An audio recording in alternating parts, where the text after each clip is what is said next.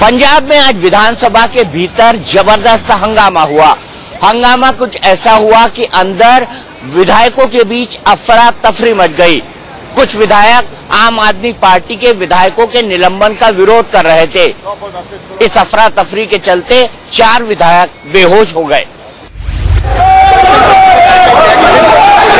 हंगामे की तस्वीरें पंजाब विधानसभा परिसर की हैं। यहाँ स्पीकर के आदेश पर आप विधायकों को मार्शल उठाकर बाहर कर रहे हैं।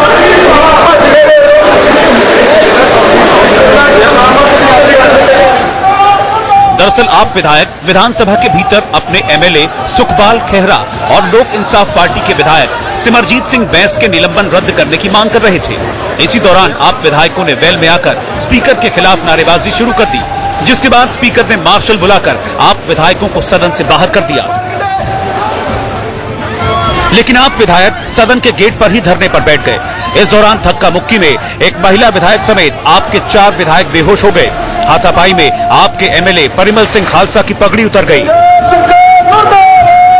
ज़ीरो आवर जो सिफर काल है, जो ऑपोजिशन के लिए बना, वो भी हमसे छीन लिया। जब तक ये रवैया ठीक नहीं करेंगे तब तक ये विधानसभा नहीं चल पाएगी। विधानसभा में विधायक की पगड़ी उतरने की घटना को लेकर अकाली दल आम आदमी पार्टी के समर्थन में उतर आया है। सारी सिख कौम का गुंडा केपी ने सारी सिख कौम का अपमान किया है।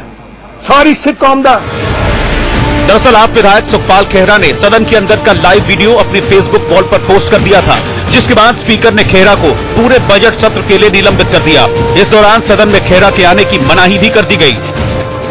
इसी का विरोध आप विधायक सदन में कर रहे थे, जिसके बाद ये पूरा हंगामा शुरू हुआ।